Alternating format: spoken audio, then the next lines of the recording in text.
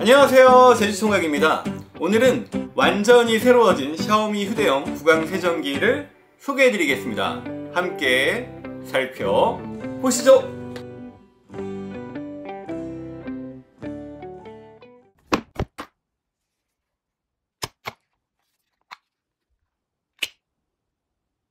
샤오미 브랜드에서 제가 개인적으로 가장 최고라고 생각하는 제품은 바로 휴대용 구강 세정기입니다. 샤오미 휴대용 구강 세정기는 가격, 디자인, 성능까지 거의 완벽하다고 할 수 있는데요. 제가 유명 브랜드에서 나온 제품도 사용해 봤지만 휴대용 구강 세정기는 샤오미가 단연 최고라고 할 수 있습니다. 그냥 1등이죠. 디자인은 이전에 나왔던 제품과 상당히 유사해 보입니다. 워낙 잘 나온 디자인이라 굳이 바꿀 필요는 없죠. 그렇지만 제품 형태는 완전히 달라졌습니다. 이건 현재 제가 사용하고 있는 구강 세정기인데요. 상단은 기계 작동부로 되어 있고 하단은 물통으로 되어 있습니다.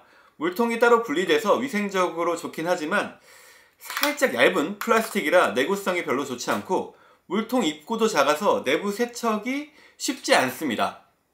그럼 이번에 나온 구강 세정기는 어떨까요?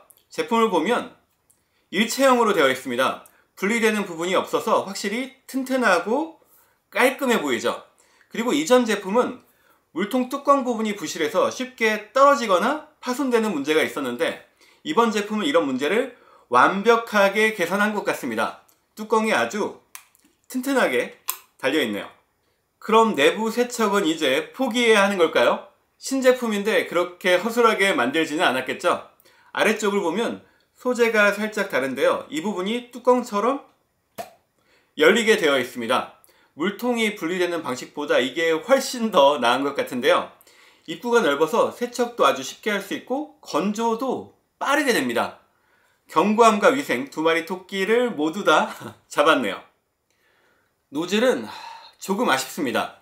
보시는 것처럼 soft 노즐, 표준 노즐, 치아 교정 노즐 이렇게 세 개의 노즐이 들어있는데 이전에 있었던 혀클린 노즐은 빠졌습니다.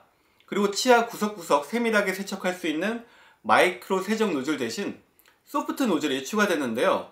이 노즐은 물이 퍼지는 방식으로 분출돼서 가운데 물줄기는 찌꺼기를 빼내고 퍼지는 물줄기는 치아를 전반적으로 부드럽게 세척해 주는데 어린이나 잇몸이 약한 분들이 사용하면 좋을 것 같지만 솔직히 저는 이 노즐의 장점을 잘 모르겠습니다.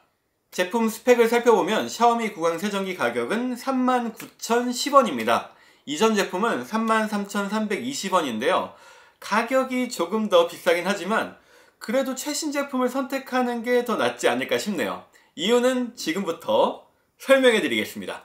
이 제품의 장점은 한번 충전해두면 충전하는 걸 잊어버릴 정도로 오래 사용할 수 있다는 건데요. 4시간만 충전해도 최대 115일간 사용할 수 있습니다. 실제로 사용해봐도 정말 놀라울 정도로 배터리가 오래 가죠.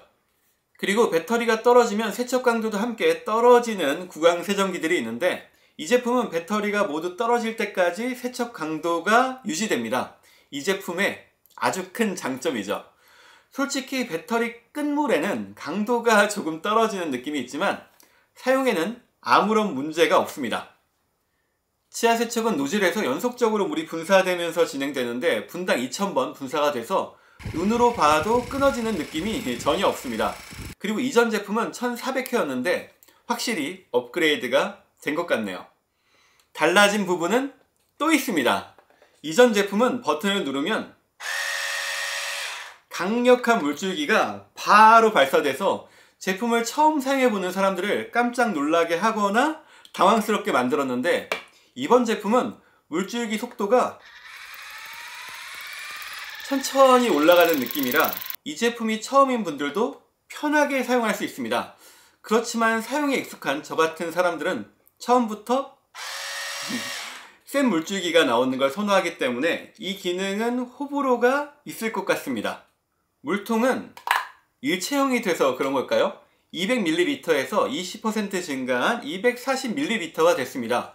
일반적으로 사용하기에는 충분한 용량이지만 이게 뭔가 잔뜩 껴있을 때는 살짝 부족한 느낌이 들죠. 저는 용량이 조금 더 컸으면 좋겠습니다. 물을 사용하는 제품이라면 방수는 필수죠. 이 제품의 방수 등급은 물에 잠겨도 전혀 문제가 없는 IPX7입니다. 충전구 고무 덮개만 잘 닫아두면 기계 내부로 물이 들어갈 일은 전혀 없죠. 사용법은 아주 간단합니다. 물통에 물을 채우고 노즐을 끼운 다음 몸통에 있는 버튼을 누르면 되는데요. 전원 버튼을 누르면 작동이 시작되고 모드 변경 버튼을 누르면 soft 모드, 표준 모드, 강력 모드, 마사지 모드 순으로 사용 모드가 변경됩니다. 저는 항상 강력 모드를 사용하는데요. 강력 모드를 사용해야 좀 더 개운한 느낌이 있고 이 사이에 끼어있는 찌꺼기들이 확실하게 빠지는 것 같기도 합니다. 소프트 모드, 표준 모드는 많이 약한 느낌이죠.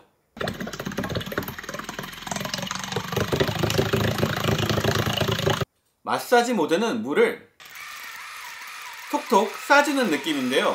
이 기능은 리뷰 때문에 확인해 보는 거지 평소에는 전혀 사용하지 않습니다.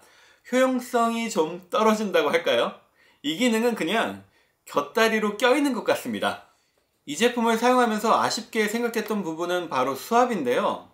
이건 이전 제품이 아니라 샤오미 스카스 세정기인데 이 제품보다 수압이 조금 약한 느낌입니다. 신제품인데 아쉬움이 있네요. 그렇다고 약하다는 뜻은 아닙니다. 영상을 보면 아시겠지만 발사되는 물줄기 파괴력이 엄청나죠.